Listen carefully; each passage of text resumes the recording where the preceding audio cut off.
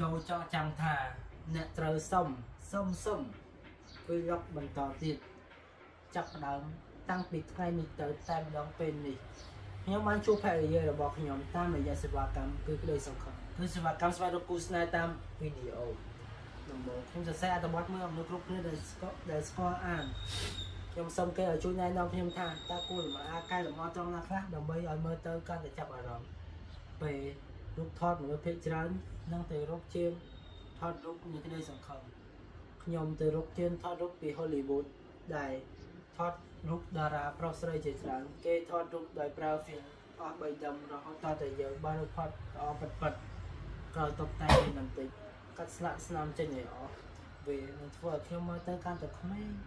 ខ្ញុំមិនមែនជាសំខ្ញុំមិនមែនជាមនុស្សសង្ហាអីទេតែគេជួយធ្វើឲ្យខ្ញុំបានរូបភាពមើលទៅបាច់ជាសង្ហាមួយសម្រាប់ សម្រាប់ការថតវីដេអូខ្ញុំទៅជាមួយមិត្តភក្តិខ្ញុំគិតថាការឲ្យមនុស្សមិនធ្លាប់ស្គាល់មុខសម្ភារខ្ញុំខ្ញុំសុខចិត្តនិយាយជាមួយមនុស្សដែលខ្ញុំទៅស្គាល់ខ្ញុំចូលនិយាយគ្នាមិនតាមតាមវាល្អប្រសើរជាង